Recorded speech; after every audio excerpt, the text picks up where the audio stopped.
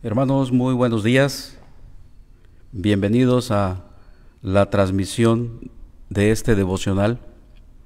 Por la gracia de Dios, iniciamos con este primer domingo del mes de mayo. Hasta aquí el Señor nos ha ayudado, Él nos ha guardado, Él nos ha sostenido y lo seguirá haciendo porque confiamos en sus promesas. Y cada vez estamos siendo fortalecidos y acompañados por su dirección, por su palabra, pero también como pueblo de Dios. Nos hemos acompañado en este proceso que estamos viviendo. Cercano está el Señor a todos los que le invocan. Así nos lo asegura la palabra. Donde dos o tres se reúnen en mi nombre, ahí estoy yo en medio de ellos. Les damos la bienvenida a nuestra transmisión que lo estamos haciendo con gratitud, con gozo y con humildad desde el templo presbiteriano El Buen Pastor de la ciudad de Monterrey, Nuevo León. Bienvenidos y participemos en este devocional dominical. Escuchemos, es Jesús mi todo en todo. Es el preludio.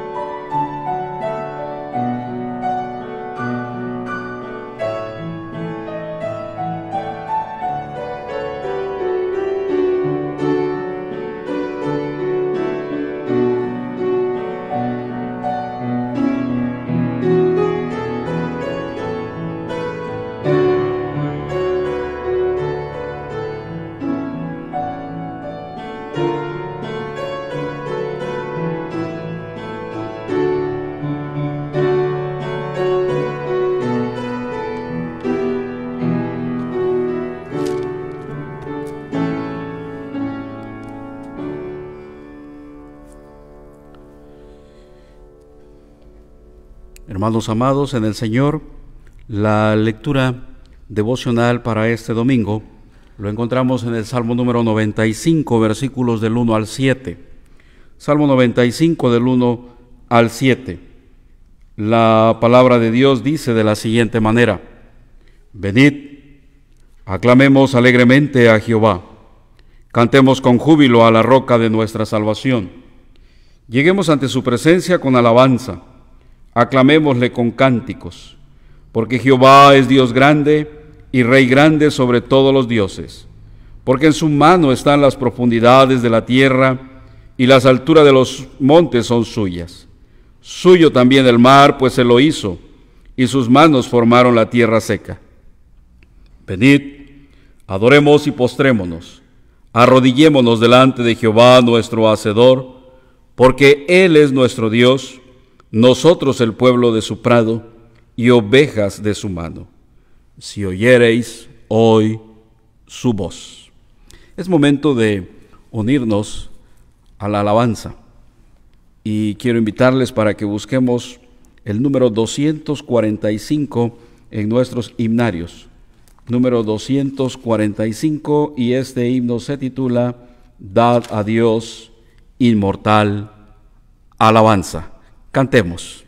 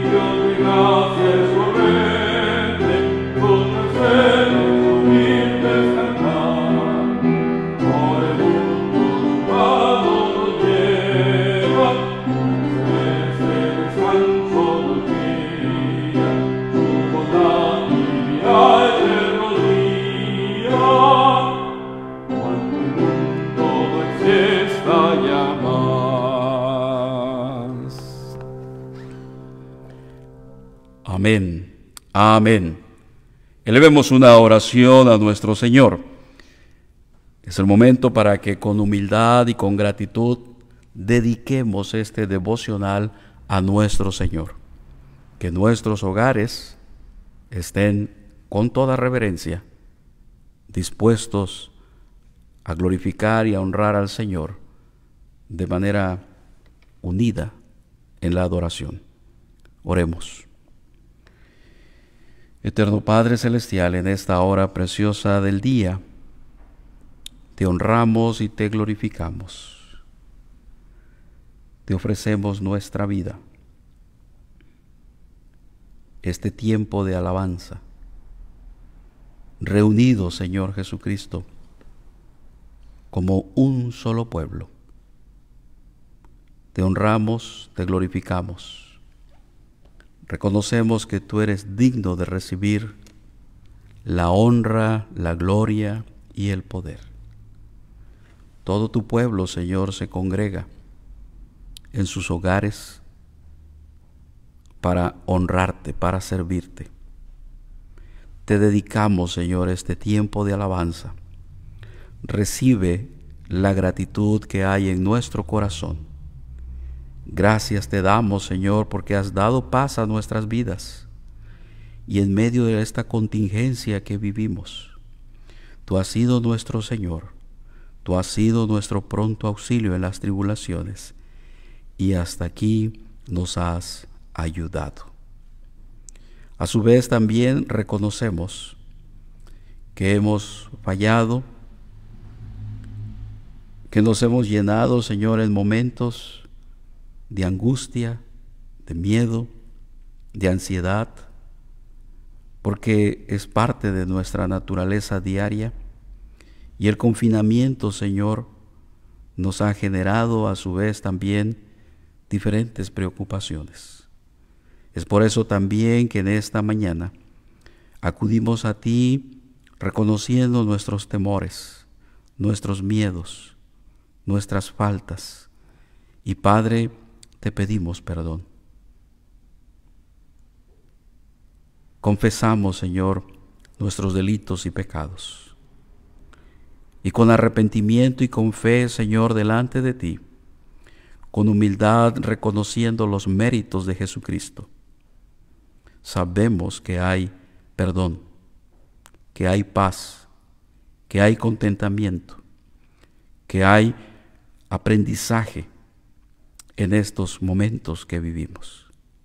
Gracias te damos, Padre Celestial, porque podemos estar unidos con la Iglesia Universal y en este día honrarte mediante el culto de adoración. Recíbelo en el dulce nombre, lo entregamos de Jesucristo nuestro Señor. Amén. Amén. Vamos a cantar la alabanza Eres mi protector. Es el número 322. Eres mi protector.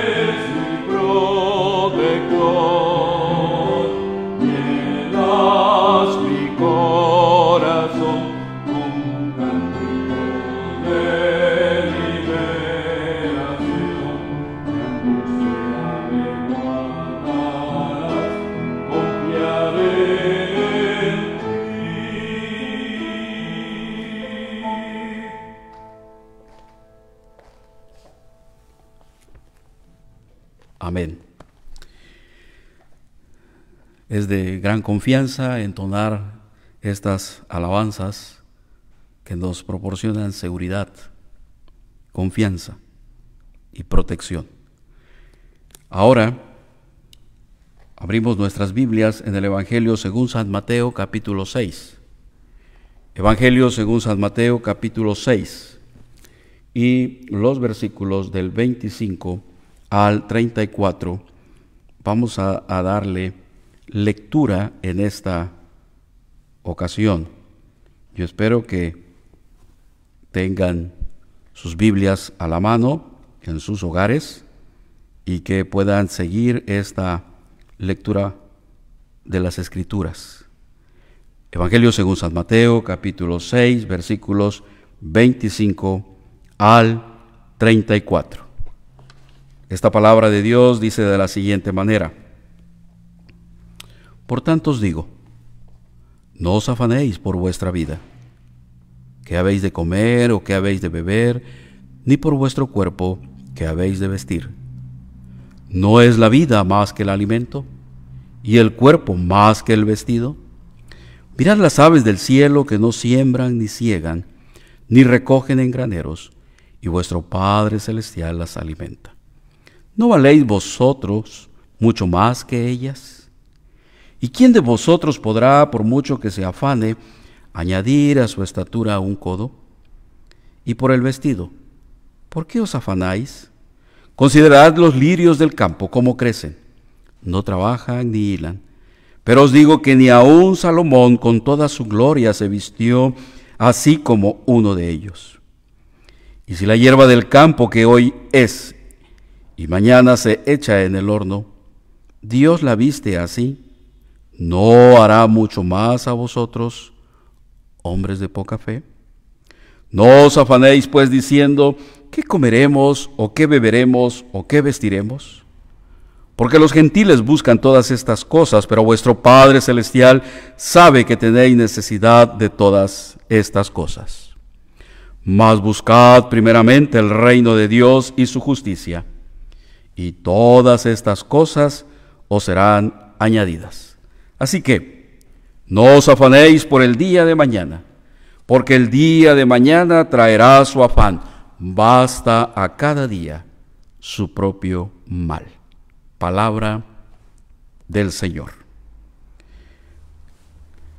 Sigamos entonando alabanzas al Señor. Y busquemos ahora el número 392 que se titula ¿Cómo podré estar triste?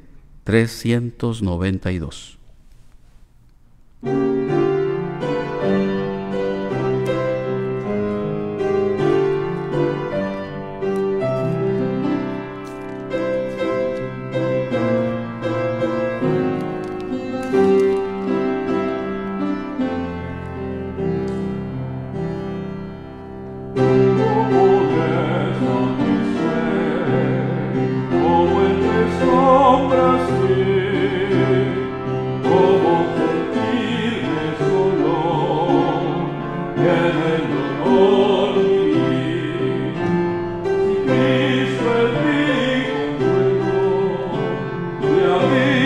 fiel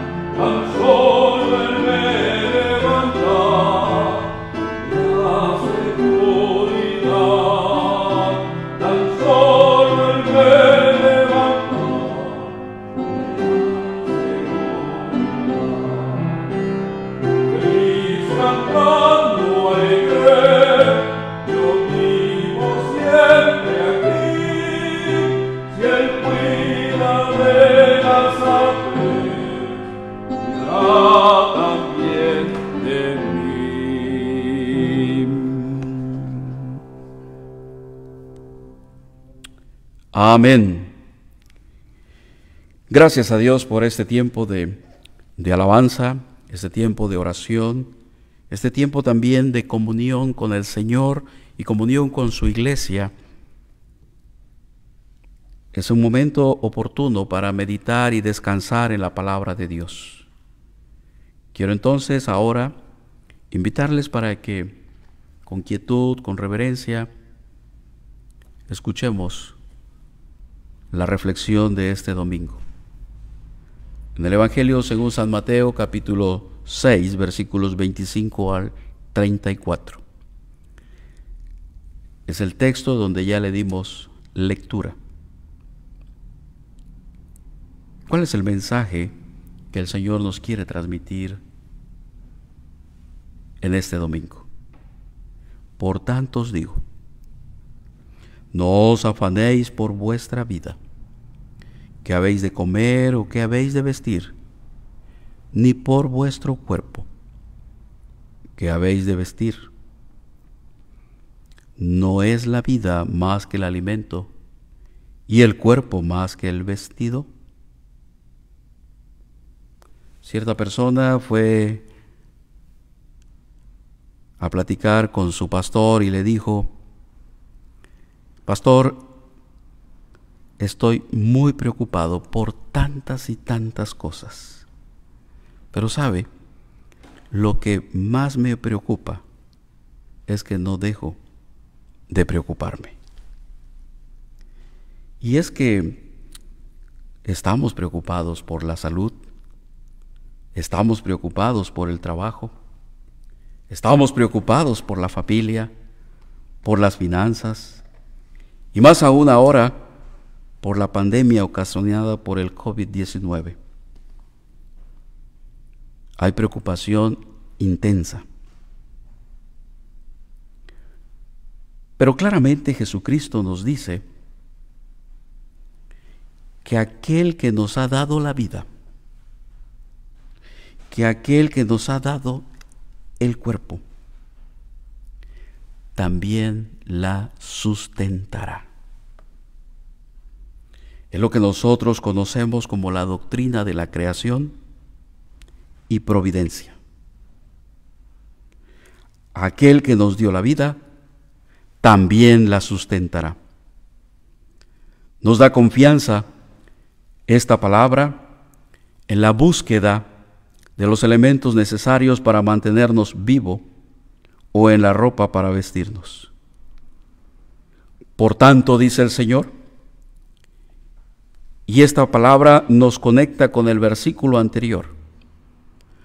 Y posiblemente está diciendo el Señor, dado que los tesoros terrenales transitorios no satisfacen. Y al poner en ellos la confianza, nos borra la visión de las cosas celestiales. Porque quien ha provisto lo mayor, es decir, la vida y el cuerpo, ¿no dará al mismo tiempo lo que es menor? El alimento, la bebida y el vestido. Porque la vida es más importante que la comida y el cuerpo más que la ropa son elementos necesarios, pero cada uno en su justa dimensión.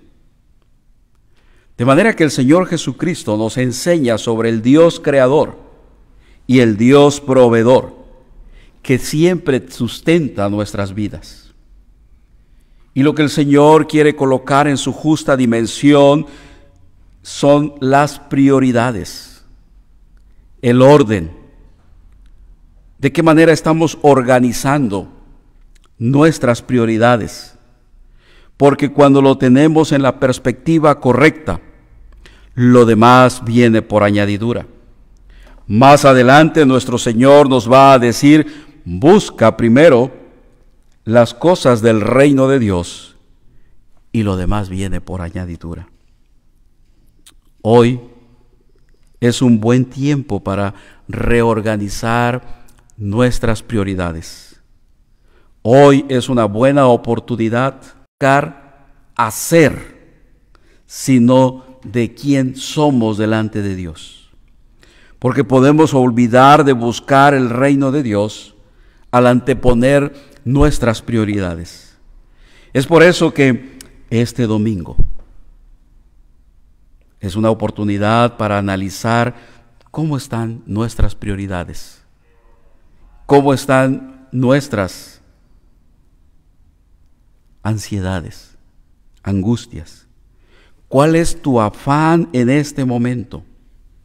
Y desde luego que seguramente hay angustia, hay miedo, hay desesperación, pero lo que queremos dejar en la mente y el corazón de cada uno de ustedes es esta seguridad que nos concede la palabra. Si Dios es nuestro creador, también es nuestro sustentador. De manera que Jesucristo debe de ser nuestra máxima prioridad. Porque San Pablo en Romanos capítulo 8 versículo 32 dice, el que no escatimó ni a su propio Hijo, sino que lo entregó por todos nosotros, ¿cómo no nos dará también con Él todas las cosas? Esto es un argumento que nos da seguridad y confianza, porque coloca las cosas de lo mayor a lo menor. Hay un orden, hay prioridades de las cosas mayor a las cosas menores. No os preocupéis, dice Jesús. Y la palabra usada en el original para preocuparse significa también distraído. No te distraigas. No pierdas el enfoque. No pierdas la visión del reino. No te enfoques en las cosas solamente terrenales. Un ejemplo en cuanto a distracción es Marta. En el Evangelio según San Lucas capítulo 10 versículos 38 al 42. Porque la atención, las prioridades en ella estaban divididas al grado que de acuerdo a sus prioridades, de acuerdo a la organización de su tiempo, olvidó por un momento una cosa necesaria. De tal forma que el mismo Señor Jesucristo le dice, estás preocupada y turbada por muchas cosas. Estás preocupada y distraída. De manera que este domingo la palabra del Señor quiere organizar nuestra vida, enfocarnos en el Señor.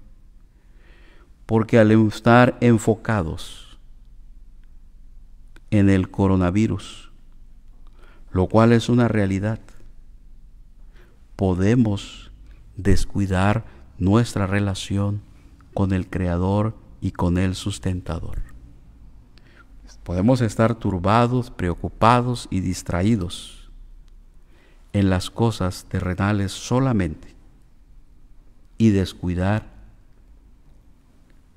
el sustento, la seguridad, la fe, la palabra que viene de Dios. Por eso, señalando hacia el cielo, y quizá a unas aves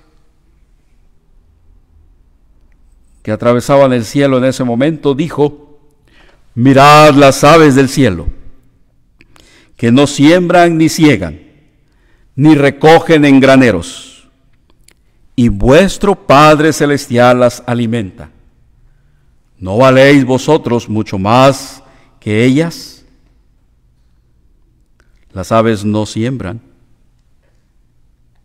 no ciegan, no recogen en graneros, sin embargo son alimentados y sostenidos por el Creador. Desde luego que el Señor no está fomentando el ocio, la negligencia, porque las aves adultas no son perezosas, trabajan para vivir, no se esperan en una rama a que el alimento les caiga, están ocupadas, preparan los nidos, cuidan a sus pequeños y les enseñan a volar y viajan a regiones cálidas o frías. Pero lo que el Señor pone en contraste es que mientras los hombres están dedicados a la siembra y a la cosecha y al trabajo, con regularidad nos olvidamos de las promesas de Dios y nos enfocamos más en lo que hacemos que en lo que somos. Mientras las aves viven de acuerdo a sus actividades y sin preocuparse, los hombres, aún en sus actividades, están agobiados y con mucho afán. Las necesidades son legítimas, afanes inagotables, incapacidad de solucionar cada una de nuestras necesidades. Pero hay que recordar en la capacidad de Dios para solucionarlas y en la voluntad de Dios también a favor de su creación. El argumento de Jesucristo es de menor a mayor grado. Porque el Señor Jesucristo dice, si Dios provee para las aves, ¿cuánto más cuidará de nosotros que fuimos creados a su imagen? ¿Vosotros sois de más valor que ellas? Pregunta el Señor. Y la respuesta es afirmativa. Y el Señor Jesucristo sigue dándonos ejemplo. ¿Quién de vosotros podrá, por mucho que se afane, añadir a su estatura un codo? ¿Quién entre vosotros, preocupado, ansioso, puede ampliar, aunque sea una pequeña cantidad, a su estatura? Y si lo logra, sería una cosa mínima que sin embargo sabemos que nadie puede lograrlo por medio de la preocupación excesiva. Un tercer ejemplo. Y haciendo un paralelo con lo que ha dicho acerca de las aves en los versículos 28 y 30. Ahora se refiere a los lirios. Y Jesús dice, ¿y por el vestido? ¿Por qué os afanáis? Considerad los lirios del campo como crecen. No trabajan ni hilan, pero os digo que ni aun Salomón con toda su gloria se vistió así como uno de ellos. Y si la hierba del campo que hoy es y mañana se echa en el horno, Dios la viste así, ¿no hará mucho más a vosotros, hombres de poca fe? Este es un llamado del Señor meditad, analiza, considera cuidadosamente los lirios del campo. Posiblemente Jesús está pensando en las flores que adornaban el paisaje en esa época del año. Y Jesús dice, ¿cómo crecen? Sin ningún trabajo de su parte. Lo hacen solamente por el cuidado de Dios. El cuidado de Dios que surge de la tierra y los hace crecer con una belleza inigualable. Y la pregunta del maestro es, ¿no hará así con vosotros, hombres de poca fe? De menor a mayor grado. Si Dios provee para la hierba, que es de corta vida, lo hará aún más con sus hijos, destinados para la gloria eterna. Si Dios viste a las flores del campo, vestirá con toda seguridad a sus hijos de acuerdo a sus necesidades. Y a los que están preocupados excesivamente, el Señor les dice, hombres de poca fe. Y llegamos al versículo 31 y Jesús resume todas las preocupaciones. No os afanéis pues diciendo, ¿qué comeremos o qué beberemos o qué vestiremos? Porque los gentiles buscan todas estas cosas, pero vuestro Padre Celestial sabe que tenéis necesidad de todas estas cosas. Y ahora coloca a un sector del público, los gentiles, porque ellos desconocen las promesas del Creador, porque ellos desconocen que han sido creados a imagen y semejanza del Señor. En contraste, los discípulos del Señor deben confiar y no temer. Entonces, hay una ruta diferente que el creyente debe de seguir en medio de esta contingencia. Hay una ruta diferente el discípulo creado a imagen de Dios y sostenido por la providencia. Con toda seguridad el Señor le dice, no os afanéis, no os preocupéis porque vuestro Padre Celestial sabe qué es lo que necesitas. Porque vuestro Padre Celestial sabe que hoy necesitas salud, trabajo. Quizá también tu economía puede estarse dañando. Pero con seguridad la palabra del Señor ahora nos promete, no os afanéis no os preocupéis, porque vuestro Padre Celestial sabe qué es lo que necesitas.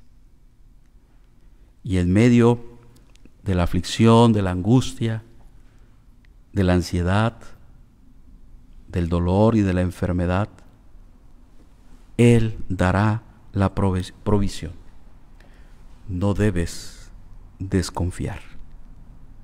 Es una exhortación de parte del Maestro en este domingo. No os afanéis, porque los gentiles buscan todas estas cosas, pero vuestro Padre Celestial sabe que tenéis necesidad de todas estas cosas. No os afanéis. Y entonces el Señor nos manda algo que sí debemos hacer busca primero el reino de Dios. En contraste con los gentiles que buscan con angustia las cosas materiales, se les llama a los discípulos de Jesús a que busquen primeramente su reino, que sean constantes, que perseveren, porque se trata de reconocer a Dios como Rey, a Dios como el Creador, a Dios como el sustentador y el Redentor y quien ha provisto de cosas mayores para nosotros, de manera que las cosas menores también las va a proveer de acuerdo a su voluntad. Es por eso que en todo momento y en toda circunstancia debemos confiar en las promesas de Dios.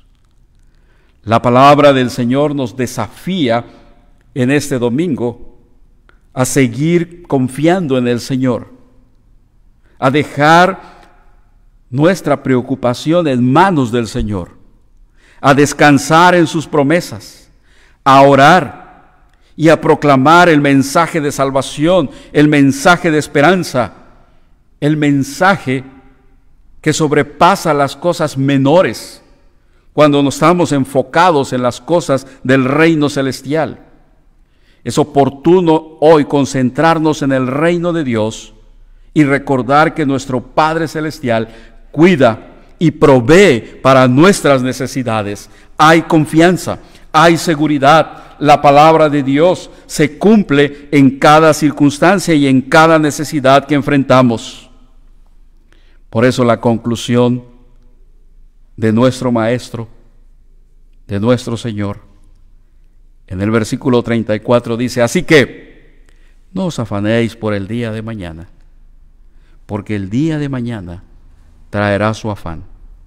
Basta a cada día su propio mal. Proveer para el futuro es una cosa, pero preocuparse por el mañana es distraerse. La manera correcta de proveer para el mañana, sin al mismo tiempo preocuparse, es cuidar que el día de hoy se atienda al llamado de Dios. Busca primero el reino de Dios. Jesucristo nos ha enseñado por qué debemos evitar el afán y la ansiedad y la preocupación excesiva. Con gratitud debemos hacer en este día lo que Dios espera de nosotros, si oyereis hoy su voz. Y en cuanto al mañana hay que descansar en las promesas del Señor, porque cuando lleguen el mañana habrá nuevos problemas, pero también habrán nuevas fuerzas.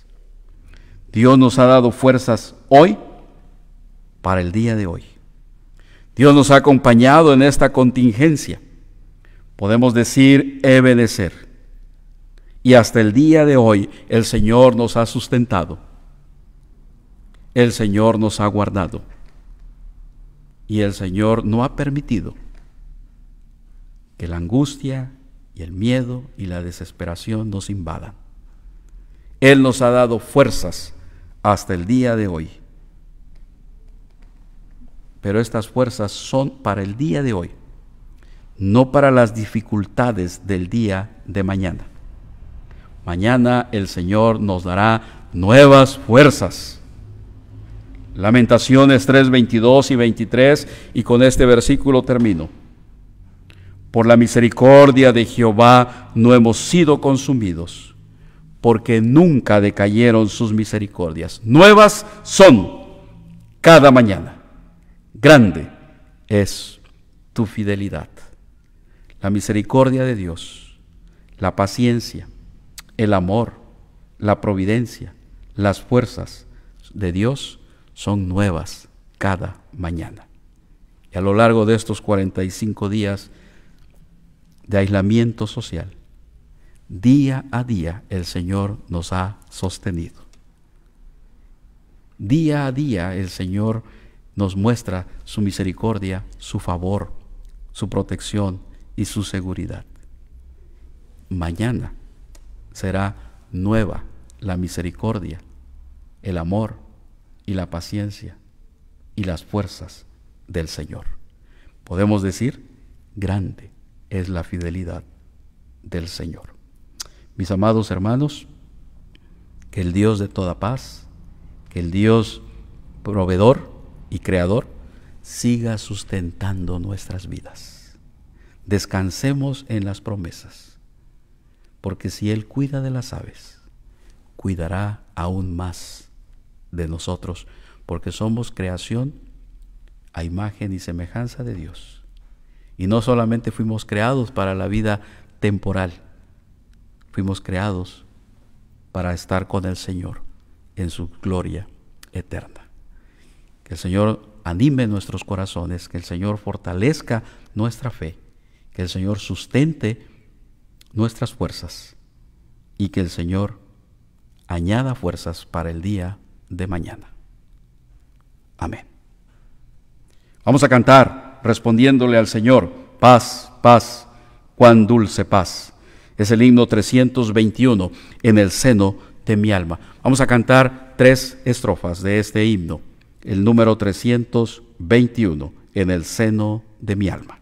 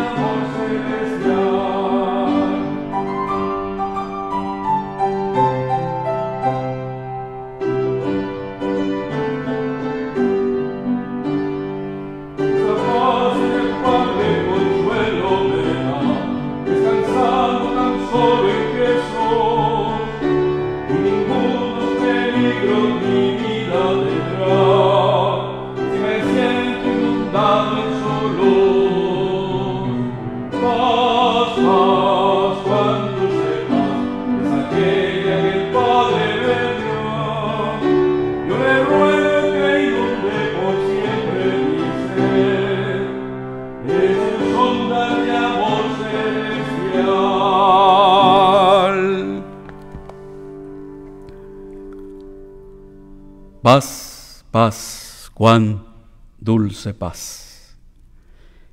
Oremos al Señor dando gracias por, por su paz, por su misericordia, por su protección, pero también para que Él nos aumente la fe. Oramos. Eterno Padre,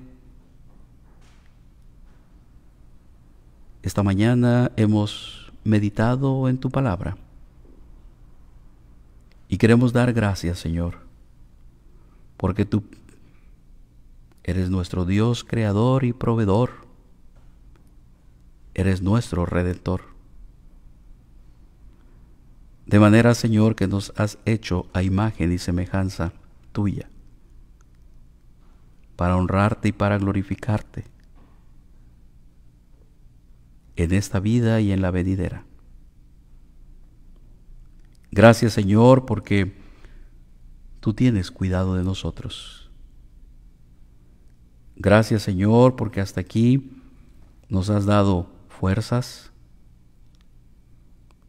sabiduría, prudencia, paciencia, confianza, día a día. Y así como lo has hecho hasta ahora, de acuerdo a la promesa bíblica, estamos seguros que mañana lo seguirás haciendo.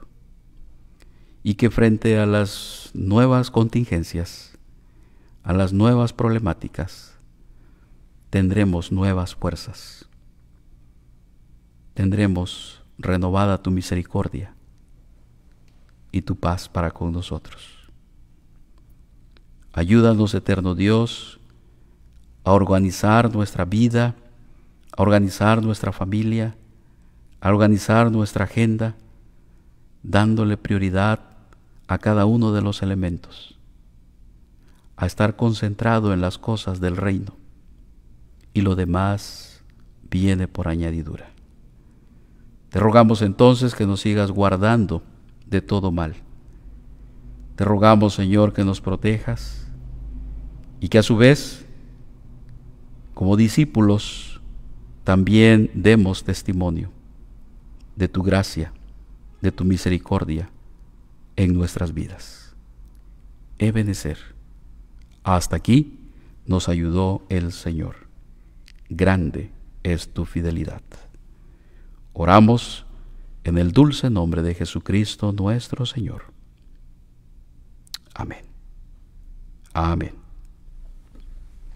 Es por la gracia del Señor, mis amados hermanos, que podemos estar reunidos siguiendo esta transmisión dominical. Y queremos darle gracias a ustedes también por acompañarnos en esta transmisión. Gracias a Dios que podemos estar unidos, reunidos, junto con la familia y entonando alabanzas, creciendo en la fe, creciendo también en el conocimiento de la palabra y que las promesas del Señor sirvan realmente para sustentar día a día nuestra vida en relación con nuestra familia. Gracias también a nuestros hermanos de iglesias hermanas que han seguido nuestra transmisión, así como también a otros hermanos de otras ciudades, de otros estados. Dios les bendiga.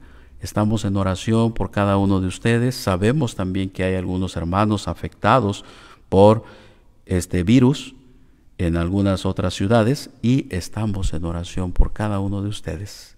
Que la paz del Señor reine en vuestros corazones. Queremos también invitarles para que podamos seguir nuestras actividades, nuestras transmisiones en vivo y los devocionales que día a día también nuestros pastores están subiendo a las, a las redes sociales. Cada día hay un nuevo devocional y así seguiremos haciéndolo en esta semana, si Dios lo permite, 8.30 de la mañana, y que el Señor traiga bendición por medio de estos devocionales y también les agradecemos a quienes están participando. Y el miércoles es nuestra séptima jornada de ayuno y oración. Así que les queremos invitar a los que deseen unirse al ayuno, lo pueden hacer y a las seis de la tarde tendremos también un devocional en vivo desde este templo para cerrar nuestra séptima jornada de ayuno y oración. Sigamos en contacto por medio de las llamadas telefónicas, sigamos en contacto por medio de el WhatsApp y los grupos de estudio también de la Biblia por Zoom, lo sigamos realizando. Eh, la escucha activa también es un ministerio que hemos desarrollado. Hay varios hermanos y hermanas que se han acercado y ha sido de bendición también escucharles y llevarles a la palabra, llevarles al Evangelio y de esta manera confortar sus corazones. Agradecemos también, mis amados hermanos, la constancia y la fidelidad eh, en el apoyo a nuestra iglesia a través de las oraciones, pero también a través de sus ofrendas y también los diezmos. Lo hemos hecho con todo cuidado, con toda reverencia también y queremos dar gracias a Dios por aquellos hermanos y hermanas que con su corazón también han ofrendado. El Señor les bendiga y el Señor consagre sus vidas y consagre también estas ofrendas y también los diezmos.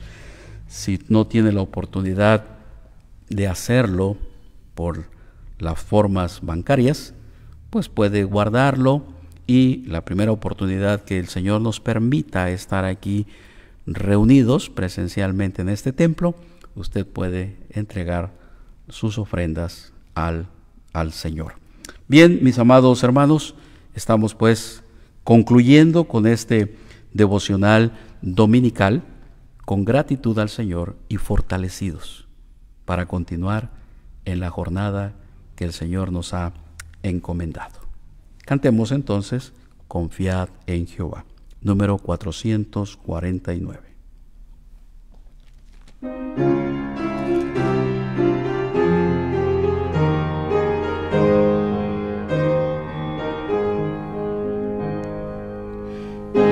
Guardarás en completa paz aquel cuyo pensamiento. En ti persevera,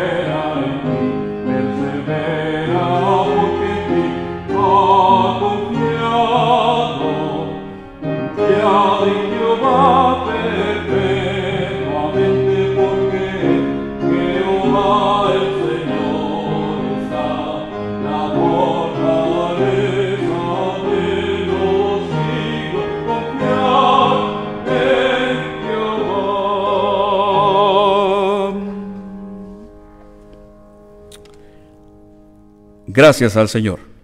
Hasta aquí Él nos ha ayudado y nos ha sustentado. También queremos agradecerle a Josué el que nos haya acompañado al piano. Que Dios te bendiga y te siga guardando. También queremos agradecer a David, a Benjamín y a Pedro que nos acompañan en la transmisión, que hacen posible la transmisión y que están allí detrás de las cámaras. El Señor les bendiga, les guarde también con sus familias. Bien, mis amados hermanos, ha llegado el momento de recibir la bendición apostólica. Vamos entonces a orar y después recibimos la bendición apostólica. Señor, te damos gracias en esta hora de la mañana porque has sustentado nuestra vida, has sustentado nuestra fe. Estamos agradecidos, Señor, por lo que estás haciendo en medio de nosotros. Aún, Padre, en esta contingencia. Estamos aprendiendo de la palabra. Estamos aprendiendo a confiar en las promesas. Estamos aprendiendo, Señor, a crecer en la fe y a buscar primeramente el reino de Dios. Gracias Señor porque nos sustentas con la palabra y nos confortas en este andar diario. Quiero también darte gracias Señor por nuestros hermanos y hermanas de esta iglesia el buen pastor, quienes cumplen un año más de vida en esta semana, por quienes celebran un aniversario de vida matrimonial. Les ponemos en tus poderosas manos por quienes están enfrentando, Señor, alguna problemática de salud. Te ruego, Señor, que les restaures la salud, que les proveas bienestar y que les des tu paz. También, eterno Dios, te quiero dar gracias por la vida de nuestros hermanos y hermanas que han ofrendado y que participan con sus diezmos, Señor, fielmente para el sostenimiento de tu iglesia y con gratitud, Señor, lo han entregado, reconociendo tu soberanía. Padre, te ruego que sea consagrada la vida de quien entrega la ofrenda, pero también sea consagrada la ofrenda para el uso en tu obra. Padre, gracias Señor por todo lo que viene de ti, por lo que estás haciendo en nosotros y por lo que seguirás haciendo. La honra y la gloria solo es para ti. Y que la gracia del Señor Jesucristo, el amor eterno del Padre Celestial y el consuelo, la dirección y la fortaleza del Espíritu Santo sea con todos vosotros, con vuestras familias, con los enfermos, con los médicos, con las enfermeras, con las viudas, con los desempleados, con los encarcelados y con todo el pueblo de Dios, desde ahora y por siempre. Amén. Amén. El Señor les bendiga, mis amados hermanos. Seguimos en contacto y que la gracia del Señor nos sostenga hoy y siempre. Amén. Escuchamos el posludio. Es Jesús mi todo en todo. Que Dios les bendiga.